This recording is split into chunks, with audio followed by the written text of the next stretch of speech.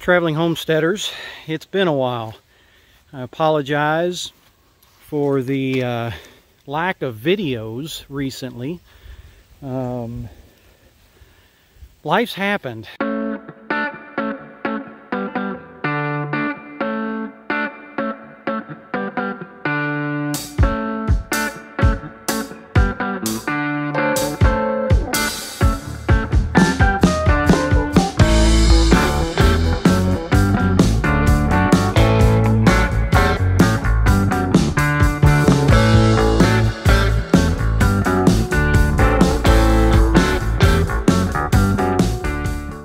Life's happened. We've had a lot going on.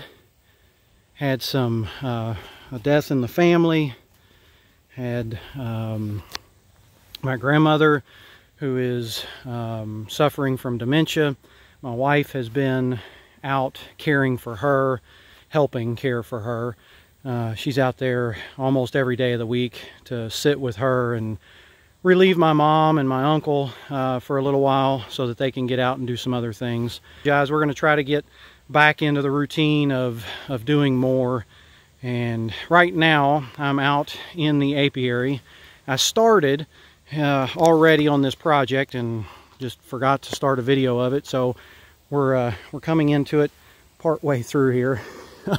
um, my dad and I built uh, some new stands these uh, that stand there that the that the hives are sitting on. Um, let me turn around here.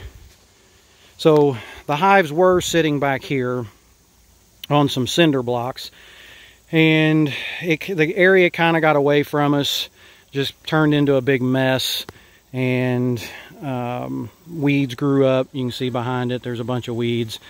The uh, the bees don't like the weed eater, so we're going to try something new uh, with building these stands, what I'm going to do is work on uh, putting down some landscape material uh, underneath, you know, get the grass cut, get everything cleaned up, and put some uh, material down to kill all of the grass, and then put some landscape timbers around it, and then maybe use like a, a vinegar-based weed killer, something that won't harm the bees can't really use, well, I guess you can use Roundup or something like that. I know a lot of people that do.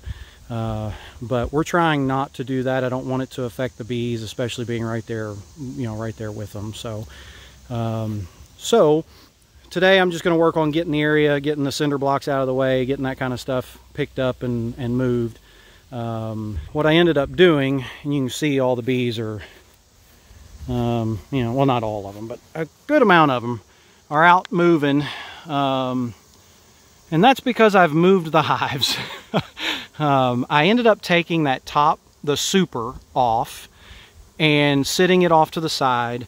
And then uh, the two bottom boxes and the bottom board, uh, they were they were heavy, but uh, they were light enough that I was able to pick them up and get them moved to this stand, which is in a temporary location. I'm going to end up where basically about where all that grass is growing. Um, I'm going to put a, uh, a new stand right there. I'm new to this, so if anybody else knows, feel free to comment, let me know. Um, I've heard that moving beehives, uh, you can either move them two feet or two miles. Um, basically, don't move them any more than two feet, or if you do, you got to move them two miles.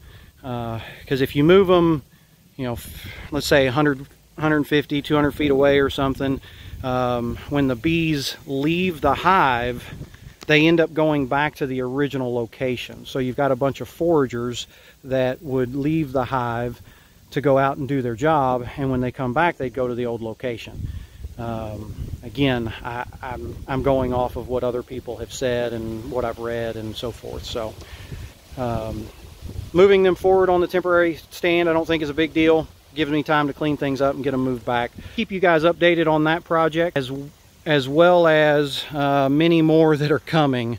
Um, I don't know if you can see it from here, but right over there where that backhoe is sitting, we've got a new building project. We're building a, um, we're building a home for my dad and Donna's mom. So that project is uh, is underway. Like I said, we've had a lot going on.